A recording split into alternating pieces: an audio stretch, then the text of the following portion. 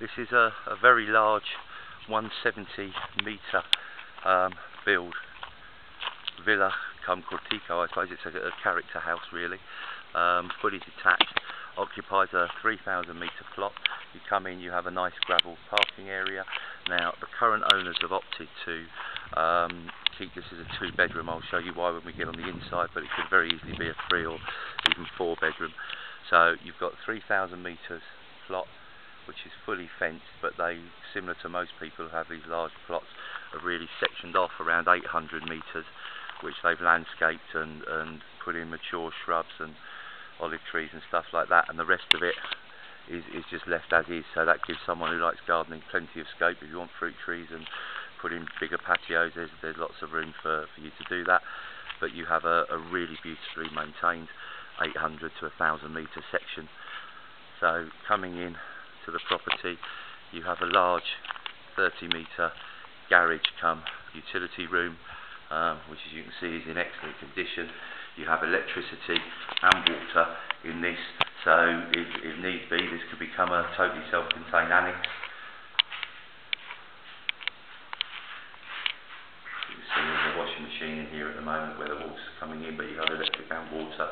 Uh, this adjoins the property so could very easily be incorporated and become an integral part of the house. You then come round to a fully walled section and, and beautiful sun terrace around the swimming pool. Which is covered at the moment. You can see you have nice easy access up to the front door of the property. This has basically been walled off just to make sure it's totally private, although as you can see from around the whole property is not overlooked.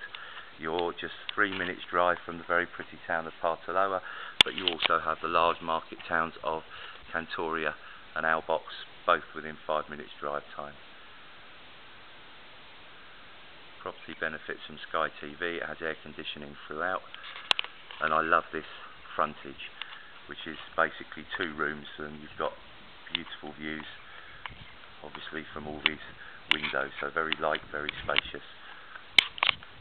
Just up to the right hand side of the property you have a, a, a separate pool um, room where you've got all the pool equipment and everything stored, all the pumps and everything else. So I'm now going up the little steps that lead you into the front of the property. This was an open porch area. The current owners have opted to basically close this in to protect you from, from insects because you've got plenty of sunshine outside if needs be. So this makes a, a lovely entertaining area. As you can see, it's double glazed all round. You have proper shutters. It's also fly screened with ceiling fans. So just a lovely cool shaded area. Coming into the actual front door now of the house, you have an extremely large 36 metre lounge. I mean, this is 16 metres above the average size for, for a lounge diner. You can see it ends in a lovely corner fireplace, big double aircon unit, so a, a beautifully cool living space.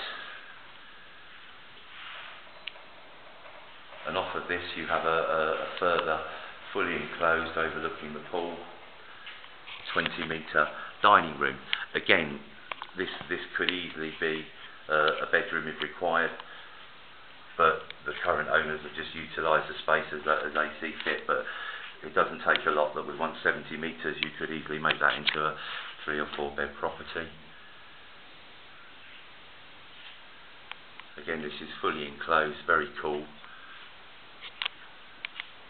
and offers spectacular views as well, so lovely to come out and have dinner.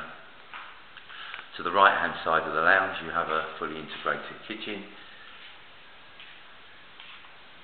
dishwasher, all appliances to remain, fridge freezer,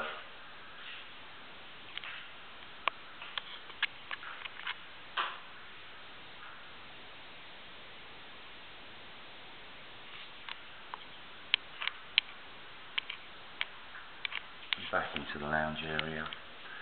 You have a, a doorway that leads into a lobby. And off of this you have the two existing bedrooms. So to the right